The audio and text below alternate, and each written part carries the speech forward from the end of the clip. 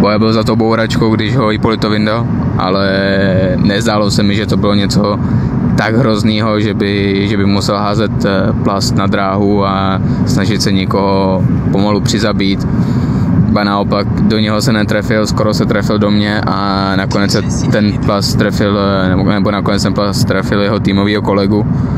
Takže si myslím, že to byla přehnaná reakce. Rozumím tomu, že, že když eh, se jde závod, zvlášť finále kázet na mistrovství světa, tak jsou emoce velký, ale nebojoval se o první místo, tak si myslím, že to bylo přehnaný a zbytečný